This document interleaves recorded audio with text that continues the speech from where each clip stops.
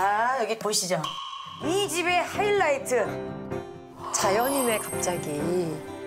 드라마 속에 나오는 집처럼 자 드라마 같은 집 원하셨죠? 드라마 같은 집. 설마. 설마. 설마. 설마.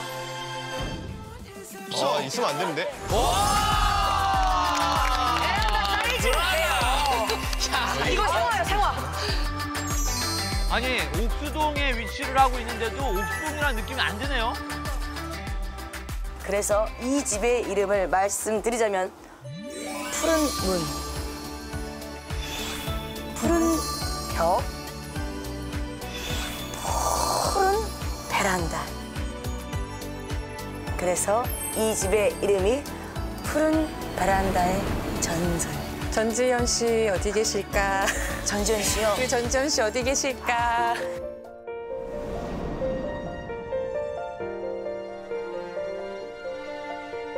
그 인어가요. 어머 여기 여기에 있어요. 보고다, 보고. 나야 전지현 인어. 아나 그거 겨우 왔어. 아니, 아까는 인어 공주인데 이거는 맥이잖아요. 이거 꺽지 아니에요, 이거? 꺽지 쪽 같습니다. 이 집에 오시면 누구나 전지현이 될 수 있습니다. 푸른 베란다의 증설. 이름 잘 졌다. 드라마로 가셨네요. 예. 자 그리고 옆에 이 외벽도 페인트 칠을 하셨어요. 노란색으로 페인트 너무 주시고 색감 예쁘다. 여기도 이 펜스가 쳐 있고 야 이랬던 집이. 야 말도 안 돼.